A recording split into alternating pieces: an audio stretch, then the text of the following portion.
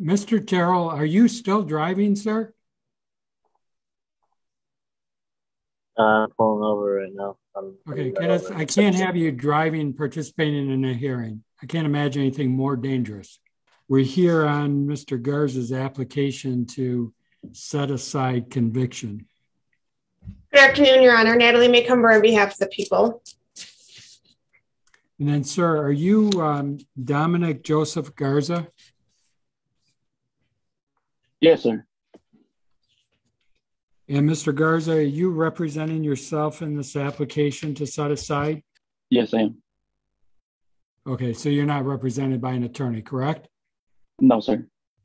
All right. And these are all victims?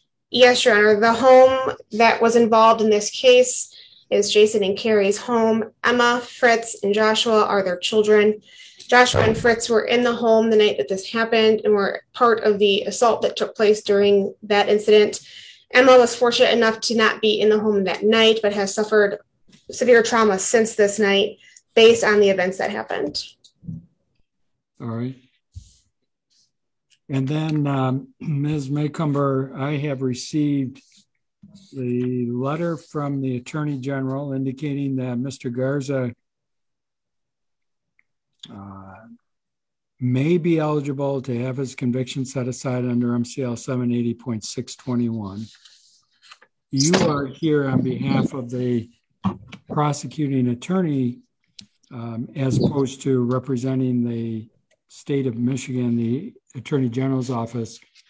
Have you received any information besides that letter from the Attorney General's office or any indication they're going to participate in this hearing? I have not, Your Honor. All right. Then, um, before we get into some of the other uh, requirements of the statute, what is the uh, prosecuting attorney's position as to, I guess I'll frame it as legal eligibility in terms of the the timeframes required under the statute, the excluded Um, types of convictions, and that sort of thing, which is what is addressed in part by the Attorney General's letter, although not in very much detail. Your Honor, in strictly looking at the crime and at the time frame, it is a little confusing based on the application that we have, based on the judgment of sentence that we have. It appears that he would be eligible based on the time frame. However, the discharge information on the certified criminal history does not match up with the judgment of sentence that we have on file with the court. Um, in speaking with the trials today, they were under the impression that Mr. Garza was able to participate in SAI boot camp, which would match up to the certified criminal history information that we have. Um, I don't have any documentation from MDOC to show whether or not he did participate in that program and whether or not that was successful, um, just that he was discharged, and based on the discharge date on the certified criminal history, the time length would be appropriate for him to apply. So what you're saying is if we were to look at the minimum sentence, the earliest release date, calculating from January 28 with only two days credit, that followed by a period of parole would probably not be, he would probably not have cleared the five-year period. But because of the information that you have that there was a um, transfer to the special alternative incarceration program, then the dates might match up. That's correct, Your Honor. Mr. Garza, um, did you in fact go from the Department of Corrections initial intake to um, the special alternative incarceration program? Yes, I did, sir. All right, and when was that transfer? When did you move to that program? Did you successfully complete the SAI program? Yes, I did. Do you know when you completed it? In uh, June, June sometime. I had to go there for June of 2015? June of 2015? Yes, sir. And then were you supervised under supervised parole after that point in time? I was on house arrest, I think. And then when were you, when did you complete your supervised uh, parole? Do you know? Uh, I, yeah, I believe it was in 2016. So Ms. Maycumber, the prosecutor's position is that he does qualify in terms of meet, meeting the statutory requirements of the um, time frame and the type of crime that can be that the uh, conviction can be set aside. That would be correct, Turner. This is a home invasion first degree. Then, with respect to um, the prosecutor's position as to the discretionary aspect um, and any uh, victim in, input, I assume all these individuals are here because the statutory requirement for notice, given the type of crime, that the notice was provided to the victims. Is that why they're here? That's correct, Your Honor. Our office did send a letter to the family to let them know about this hearing. Our office failed in letting them know that it was going to be a Zoom hearing, so they drove all the way up here um, after working all night long. Um, family members' support came all the way up from a different state to come be here with the family today to speak out against this expungement hearing. Okay, go ahead, ma'am. What would you like me to know? Um, I wrote it out. Um, I'd first like to thank you for the opportunity to make this statement. Um, it's it's very hard to force ourselves to relive the traumatic events that took place the night that Dominic Garza broke into our home, more than we already do. Just to put into words the daily effect this has had on our lives, all the stress from this incident and everything that followed has caused irreparable trauma and PTSD like symptoms for us. At times, it makes us physically sick. We get nauseous and migraines and so on the whole situation has stripped us of our confidence and dignity and left us with overwhelming feelings of vulnerability. Not a day has gone by that we haven't felt unsafe in our home, the very place we ought to feel the most secure. This, there's a constant uneasy feeling being at home for fear of another home invasion that will never go away. Sleep is lost every night due to this. Many of our irreplaceable personal items of sentimental value were also taken from our home to be used as evidence in this case. Things like family photos that were stored on digital cameras and phones. These things were never returned to us, even after we asked for them. I'm sorry. The person before you today stole our sense of security that night. And our permanent and our physical belongings were also taken because of what he did our son, who was removed from our care temporarily due to our home being invaded, had a very difficult time adjusting to be with being without his parents. He has many learning and speech delays from the psychological trauma, the defendant's actions, uh, from the defendant's actions that will also continue to affect him for the rest of his life. The consequences Dominic Garza received were essentially a slap on the wrist but more face a slap in the face of justice as well as ours. He should still be in prison, but instead he took a plea deal to drop the multiple assault with dangerous weapon charges from holding our family at gunpoint. Let's not forget, he is someone we have never met before. He watched us for months and then broke into our home when he thought there would be only women and children at home. He threatened to, sh- to shoot and pointed a loaded gun at our son, who was only eight months old at the time, if we didn't comply. He then tried to shoot Mr. Terrell in the head multiple times while while he was struggling to protect to try and protect our family. At the sentencing, this monster showed absolutely no remorse for his actions towards us. He was more concerned with apologizing for the hardship he placed on his family than he was for terrorizing ours. Please don't forget these things because we surely can't, no matter how hard we try. These are things that never leave us the kind of person that would not only plan out for several months, but then follow through to commit these crimes is not the kind of person who should be allowed this opportunity today. He is a danger to society, and that title should not be removed from his name. When you wake up from an extremely frightening nightmare, you feel a huge sense of relief to know that you were safe and it was all a dream. However, our home being invaded was not a dream. There is no waking up from this nightmare.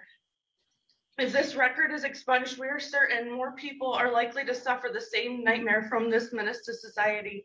Expungements should be reserved for victimless crimes, not the heinous actions of the, this criminal in this case. Any semblance of justice will not allow for this crime to be forgotten. Dominic Garza should have to live with real consequences of his actions. Our family is forced to live with what he did to us every day and night for the rest of our lives. It doesn't just go away for us, and it shouldn't for him either. Thank you. All right, thank you, ma'am. Go Okay, ahead, sir. um, Yeah, the, pretty much a recap of uh, what they all said. I, you know, I get myself two hours, three hours of sleep, have panic attacks constantly, uh, anxiety, uh, and then through the course of, you know, uh, what happened, his home invasion, um, somehow whatever deal got made to where he got off, you know, lighter than me. Uh, my wife had, you know, uh, a pistol, and because I, you know, the, the cops wanted to get some kind of a thing on me. They're just rampaging through and, you know, tried to charge me for having a pistol. Like, uh, it got turned around more like, uh, you know, like we were the intruders and he came in with heinous intent. He specifically said that he was, you know, stalking our house for three months or more. Like, um, this is just this is not human behavior that he is displaying he should be in some kind of an institution. I have no idea why it is that he got three months for trying to murder my family. He almost blew my head off a bunch of times um, as i was struggling with the gun. Uh, luckily uh, my wife had he, he said take you know take me upstairs. And luckily she walked him to my door instead and i you know i got up in time because otherwise, like you know, like uh, they've said before, we'd all be dead. You know, he came in there with a mask.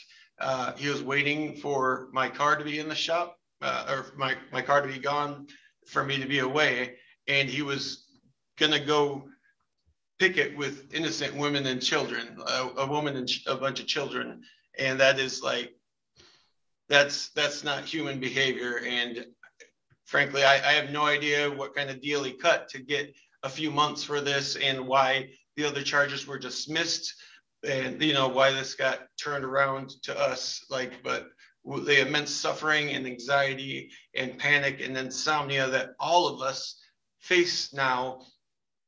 You know, I'm, I'm glad if he got to, you know, go make a deal and turn whoever else in, whatever it was that he got the sweetheart deal. I don't believe that that was remotely justice. It was really hard to swallow that the victims got more punishment than the perpetrator. How on earth he got out with a few months and he was not even staying on his guidelines of what he was supposed to do, you know, for the uh, probationary. He had no kind of remorse. He uh, at one point approached us at a bowling alley, and then all of a sudden there's a bunch of them standing behind me and my children. There's no remorse there. And then uh, when we went into court, he, you know, blew me a kiss and did this at me. You know, like what's next? What is this? A you know, I wait till I see him, and then it's all fucking like I, I don't know where I'm supposed to get peace of mind here. You know, this guy's just you know sitting here just basically unaffected from it. He should be in prison in a very, very bad prison. Like, that's not something that people do. That is absolutely out of line for, you know, the social contract or however you want to put it. You know, the fact that he got out of this, however he got out of this, is ridiculous. And I just absolutely don't feel that it's fair to society or my family to take this mark off of him. This is something that's not going to disappear from us. This is something that we're going to live with for the rest of our lives. And luckily, I stopped the murder and rape and robbery from happening, but just barely. And for for it to even be considered for him to ever get this warning label off of him is insane and the the blood will be on everybody's hands for doing it. It's just I hope that you guys can recognize this is not a normal person. He needs to be watched. He definitely does not need to have the warning label taken off that he is down to go and break in and rape and murder and stalk and just do nutty stuff like that. you know, and there was no remorse. There was no, uh, it's just insane. Like off of, off of us defending our family and me successfully not having our family murdered, my wife, who was completely able to have a pistol, I got a charge and I got in more trouble than he did over, you know, I was fighting for my life. This guy was strung out on God knows what, had two stolen guns on him, and you know, breaks in the house with a mask with ski ski masks and all this kind of stuff. It just it is insane that it's even being brought up to contemplate to take this warning label off of him. We we went through years of much worse than he got for God knows what reason. I don't know again, you know, the specifics of what sweetheart deal he got, but this that was it was really hard to take, you know? It's like a slap in the face to say the least.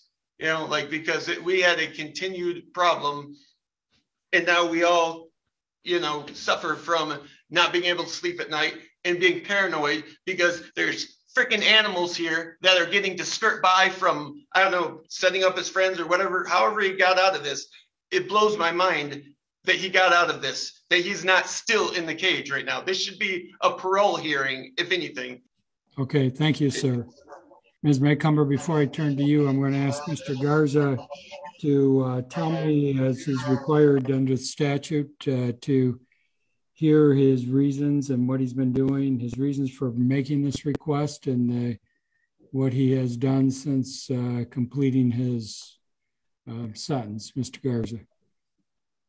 Yes, sir. Um, since I uh, was released from boot camp, um, I started um, searching for a job. I had to pay bills and restitution and um, help out with because I had to stay with my brother uh, afterwards. I had to help out there. Uh, I ended up working at over by a uh, farm. Uh, they were gracious enough to uh, help me reintegrate um, into the workforce. Um, my boss there actually was released from Muskegon after a, a 25 year uh, sentence. So he was uh, helpful in that matter. I worked there for two years. Um, after I worked there, I went to, I ended up being the team leader there after uh, starting off just as a general laborer. I worked there for two years. Uh, around that time, I became a, a youth minister for Compassion Ministries. Um, I work with maybe six or seven youth. We're a small small church. But I had my uh, my pastor uh, write in and as my parole officer feels okay at that time. Um, I worked for two years, and then after that, I went to Incorporated in Hudsonville uh, to drive OTR semi trucks, and I did that for uh, two years. Also, acquired my CDL Class A, um, and then after that, I proceeded to uh, move on to drive for a company that's contracted for CATA to drive the Spectran, which is the little white vans. Um, actually got off of on a day at 1.30 for the hearing today. Um, but they're understanding of that. And I, which I greatly appreciate because with my record, nobody has to give me any chances for anything, which is understandable. Um, since I've been out from boot camp, I, I have zero contact with uh, any authority as far as on the wrong side of the law. Um, I try my best to to help others and give back in whatever way I can, because I know from the night that of my actions um, for the home invasion, I can never truly give back the, the sense of security that I took from the Terrells. And I, I again would like to apologize wholeheartedly to that family for just for everything that happened that night. It took away your sense of security and I know that's such a hard, almost impossible thing to get back, which I truly hope that you can someday. I believe around that time I was I just turned 18, maybe four or five months before that happened. And I was just young, impulsive. I, didn't have my head on straight at all.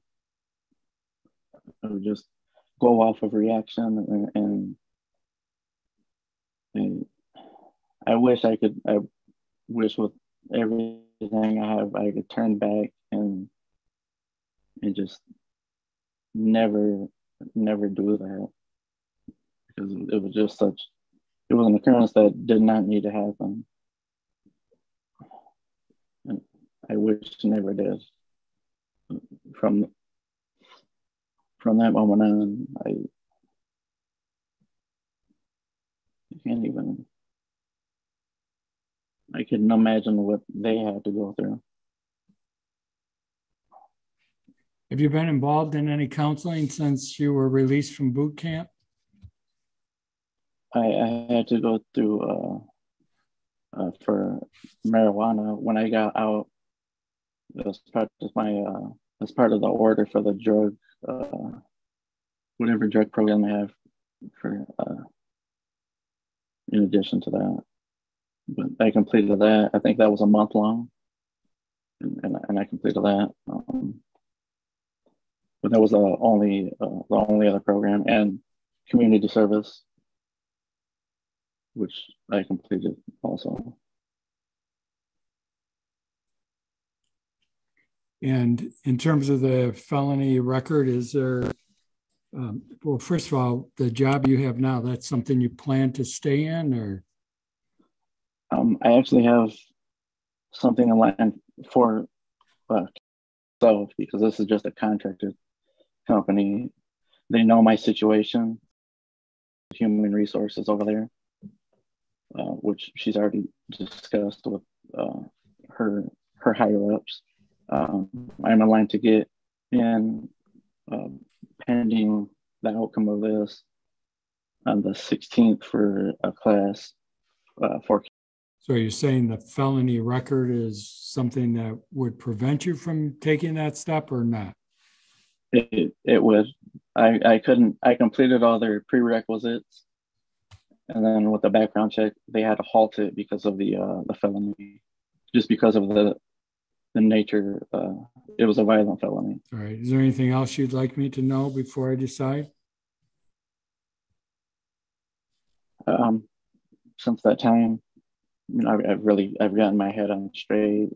I I haven't gotten into any trouble. I you know I tried to do the right thing as far as advising younger people to not do what I did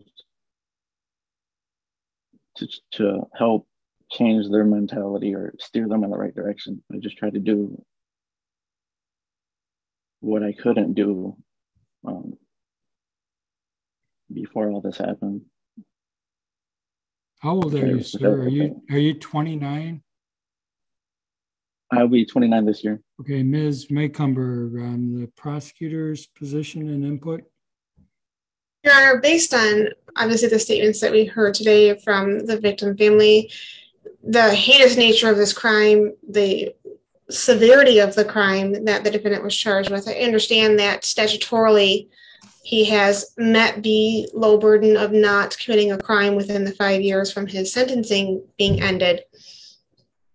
We don't really have any information as to how boot camp happened but that was not the intent of what his sentence was. It was not the intent of what the agreement was by our office. It was not the intent of what the judgment of sentence was by the court.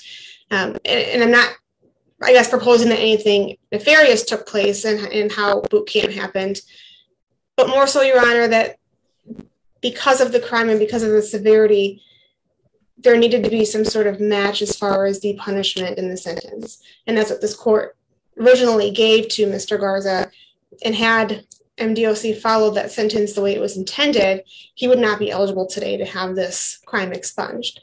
I can appreciate the steps he's taken since getting out of, of MDOC and, and completing boot camp. I can appreciate the fact that he hasn't committed any new crimes, but there's just really no assurances other than that that he's been able to provide to the court that he has in place a structure that will make sure that he does not go back to any sort of criminal behavior. Um, he's told the court that he had some court ordered treatment as far as marijuana use, but there's been no actual therapy. There's been no really deep dive into what brought him to the point that he decided that it was an okay situation to case a house for months at a time, break in and hold a family at gunpoint, threatening to shoot their children.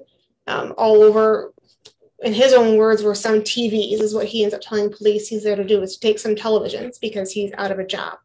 Um, I, you know, honor, I would respectfully ask that this court not expunge this crime at this time um, and ask Mr. Garza to, I know the court can't order him, but ask him to really take a deep dive into what brought him to that situation and, and do some inner work on that before trying to apply again. All right. Thank you, Ms. Maycomber. Anything else you want to tell me, Mr. Garza?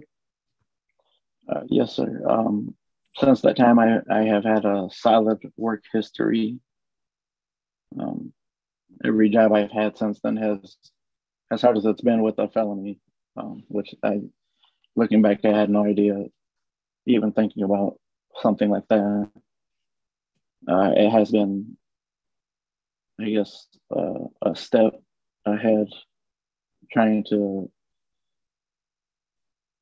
lose this the stigmatism of a felony because that's uh, a mark that uh, that weighs heavily, which which it should for what I did. Um, I've, I've tried to move in a better direction, and I, I really hope that you see that I I really am trying to to do better. Um, I hope you see that I, I am doing a better job um, being a, a, a, better person for society. All right, thank you. The um, statute uh, under which this application has been filed is a relatively new statute. Parts of it took effect as recently as uh, March 9th of 2022. And um, in some ways, Ms. Maycomber realizes this through some of these hearings that we've had before. In some ways, there are parts of the statute that are not, um, let's say, have not been fully interpreted and leave some question as to what some parts of it mean or what the intent was. I do know that in answer to the family, the victims who have commented, uh, more than one of them have indicated that expungements should be essentially that expungements should be reserved for victimless crimes or at least certainly not for a, cli- a crime that, that, was as heinous as this one was. Um, that would be an issue for the legislature. They apparently didn't see it that way. Uh, they did not mandate that uh, only victimless crimes could be uh, set aside, nor did they, in particular, address the nature of the specific facts of a crime um, when they uh, when they put this statute together in terms of legal eligibility. They did do um, one thing though, which is not surprising, and that has been exercised here today, and that is they indicate that the victim has the right to appear at any proceeding under this act concerning that conviction and to make a written or oral statement. That's what allows the victims to speak here today. And they also have a um, provision that allows the prosecuting attorney to contest the application, either the prosecuting attorney or the attorney general. Um, the provision with regard to uh, having victims speak or provide a written statement, as I said, is not surprising. It's consistent with our Victims' Rights Act in the state. Um, but there is one part of the statute that I think um, is not clear, and that is the extent to which and to weigh the victim's statements, considering that there were impact statements that are part of our sentencing process. How does the victim's um, statements uh, weigh or calculate into my decision at the time of the request to set aside. Because when it goes to the issue of what I am to exercise discretion over, it doesn't address the victims at all. So you have a part of the statute that says the victims have the right to speak. So obviously, you can presume that there's supposed to be some consideration of the victim's um, position. But then it goes on to say that um, the court is supposed to determine whether the circumstances and behavior of the applicant from the date of the applicant's conviction or convictions to the filing of the application warrant setting aside the conviction or convictions and that setting aside the conviction or convictions is consistent with public welfare. That's really a focus on what the defendant has done since the conviction and up to the date of the request for um, setting aside the conviction. So it's an interesting um, I don't know if you can call it a disconnect, but the, the statute certainly does not tie those two things together in a very direct way, um, but rather, um, I suppose, more of an indirect. And I think probably the reason for that is that the legislature knows that the victim's position is supposed to be part of the sentencing. And what the expungement statute was mostly directed at, as far as I can tell, mostly directed at what happened after, not what happened during the crime, but what happened after the crime in terms of the um, the defendant's rehabilitation and um, behavior since the uh, completion of whatever obligation was presented under the um, under the sentencing provision. So completing either probation or an incarceration period or parole period. Again, the uh, prosecutor does have the, the right to uh, contest, which she has done here today. And I think the um, Ms. Maycumber has picked up on the question that I asked uh, Mr. Garza having to do with given the nature of the crime, what has been done beyond, has he done anything beyond um, the mandatory um, aftercare, sometimes it's called, or rehabilitative process uh, to assure the court and the community that he is uh, someone who is no longer a danger. There is automatically some part of that that is understandable in terms of um, just his development, and that is uh, there's certainly a difference between being 18 and being 29 uh, in terms of some maturity based on studies that have been provided and analysis of crimes that have been committed. So I think there's no, I think there's no question that Mr. Garza has made a lot of progress uh, in the period of time since he committed this crime. I think there's no question that he is uh, working in an area that uh, should help him continue to be on track to be a productive member of society. This application comes, in a sense, at the earliest possible moment allowed under the statute. He does qualify in terms of the legal requirements, as Ms. Maycomber has uh, indicated and agreed, and the Attorney General's office uh, attempts to uh, outline, uh, including that he's not been involved in any additional criminal activity. Now, you could look at it from the perspective of, yeah, he qualifies based on the specific dates that we're looking at, but that's only because there was a reduction in the sentence I originally um, ordered by way of the boot camp opportunity. I'm not going to get into a debate about that. There are good reasons why the boot camp program exists. And um, there is a um, there, there is specific programming. It's not an easy program to get through. Let me put it that way. And Mr. Garza, I assume, has uh, benefited from that, that program.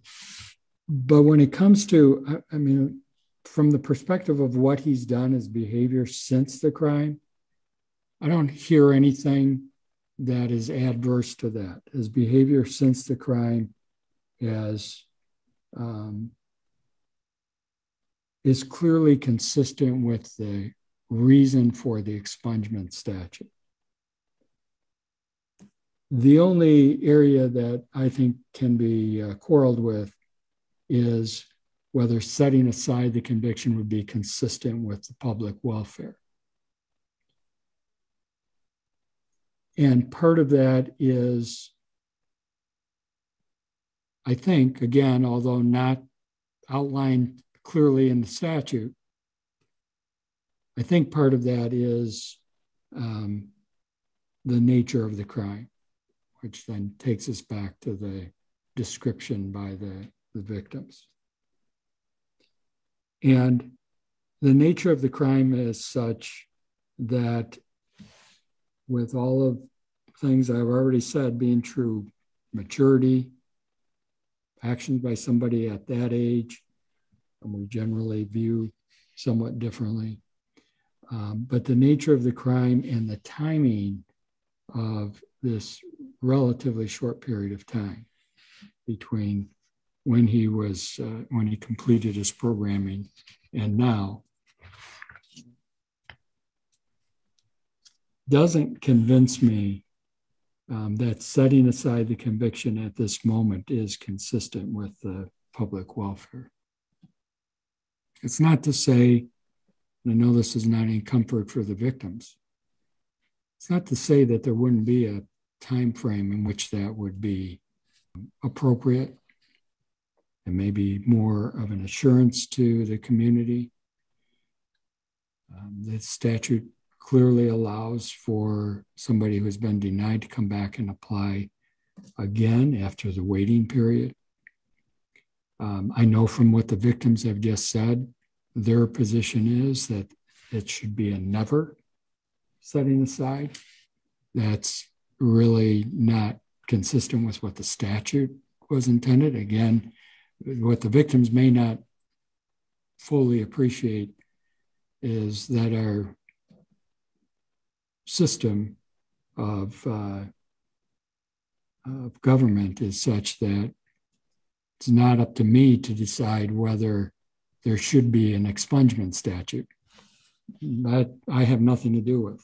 The legislature makes that decision and made that decision or people who argue on both sides of that. There was a lot of debate before this uh, statute was adopted. It uh, has been adopted. It's being utilized heavily. Ms. Maycomber and I, I don't know, what do you think, Ms. Maycomber? We see a couple of these a week now. Um, but that's not within my control. My responsibility and assignment is exclusively to apply the statute. And it's pretty clear that the statute, by its terms, allows somebody to have even this level of crime expunged. Um, and allow somebody who has been denied to come back again and seek it again and show further um, efforts and try to convince the court uh, in terms of the court's discretion, uh, which is that last paragraph that I read. And so, um, just as a word of explanation or caution to the family, uh, my decision today doesn't mean that the statute doesn't ever allow him to come back and seek expungement. But today I am going to find that I'm not uh, convinced that it is consistent with public welfare to set aside, Mr. Garza, your conviction at this time. Um, however, I also don't want that to be a discouragement to uh, continued efforts to be a productive member of society and rehabilitation. I understand it's going to thwart your ability to take your next step in terms of employment. That's part of what happens with a felony conviction. You have actually, um, sounds like, done fairly well as far as trying to um, rehabilitate and reintegrate in the in a productive way in the community, um, and uh, that is harder than many people realize with a felony conviction. Um, again, I mean, there are reasons for that. You've acknowledged that that's part of what you what you uh, brought upon yourself by the criminal acts that you did. Um, but again, I want to make sure that you continue down the path of being a productive, law abiding uh, member of society um, and not uh, not view this as that uh, somehow we don't understand um, what you have done between the time of completing your obligation to the MDOC and now. But I'm going to deny the, the request at this time. Ms. Maycumber, is there anything else you'd like to put on the record, ma'am? No, Your Honor, thank you. Mr. Garza, is there anything else you'd like to put on the record, sir? Um, I just I hope when I uh, when I apply again that, that you'll find I am making progress still to better myself. All right. Thank you, sir. Uh, the Terrell family, thank you very much for appearing today. That concludes this hearing.